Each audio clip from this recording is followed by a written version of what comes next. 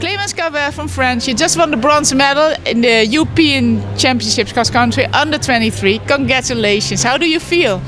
I am very, very happy. When I uh, on the line, I don't know if I was uh, third or uh, fourth.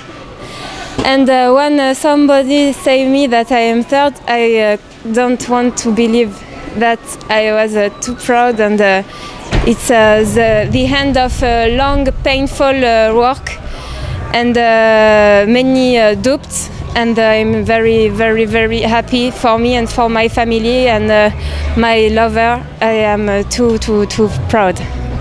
It's your, it's your first medal, also, right?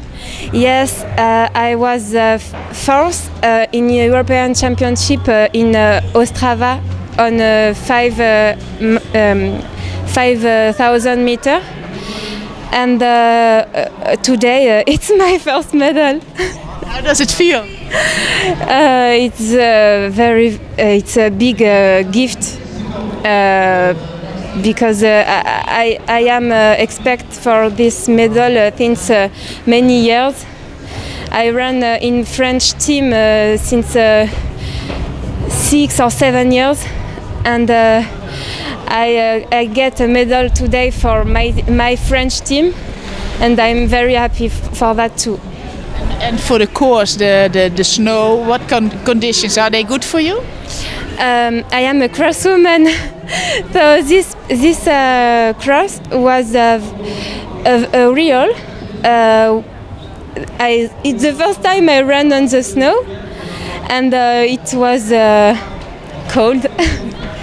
no, it was a, a good experience, and uh, uh, maybe there i- there will be uh, very beautiful uh, pictures of of our course.